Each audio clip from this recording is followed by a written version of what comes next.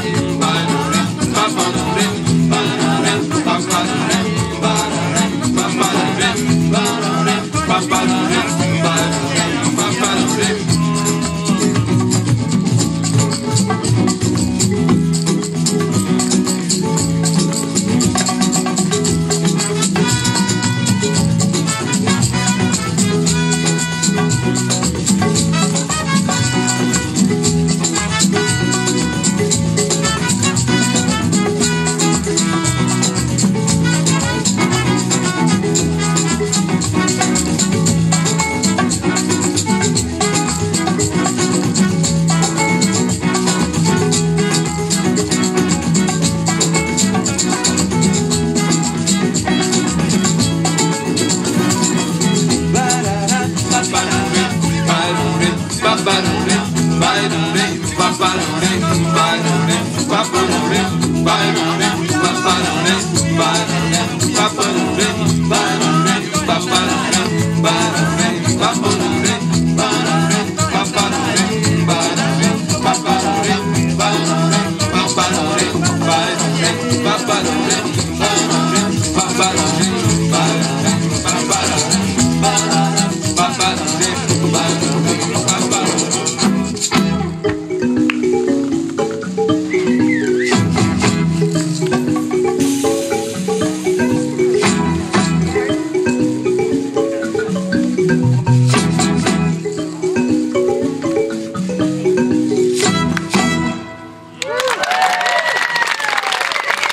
Thank you. There's a dry blessing over there. Live on the lawn of CHFR this morning. If you're driving around and feel like dancing, uh, come on down to Joe King Park. Stop by the radio station. We're here with the BC World Music Collective. Believe it or not, we have 13 musicians on the lawn, and we have a nice studio audience. Good morning, audience. Uh, it's very exciting. We've had lots of these musicians here before, Locarno, Robin, I see Celso Machado. We got we got a lot of people that have Adonis. A lot of people have been on our festival stage before, but we have all 13 of them together uh, today. Welcome. We're, we're very happy to be here. Thank you for having us, and thanks for, for coming out. This is amazing. Uh, about 20 minutes ago, 10 minutes ago, there was nobody here. All, it's like you came out of the forest over there. It's so cool.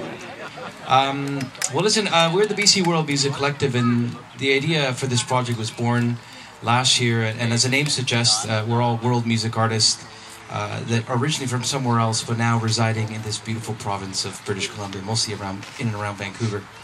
Uh, and we've come together last year to do one show, and we thought, well, one show is just not enough, so we, we decided to do it again this summer. And, and this is uh, the last show, the last uh, show that we're doing for this weekend. We started in Vancouver, then moved over to, um, to Vancouver on yesterday. We were at the Filberg Festival, and we're going to finish off our weekend here. And now we're going to start things off for you with a tune that Kurai is going to sing for you.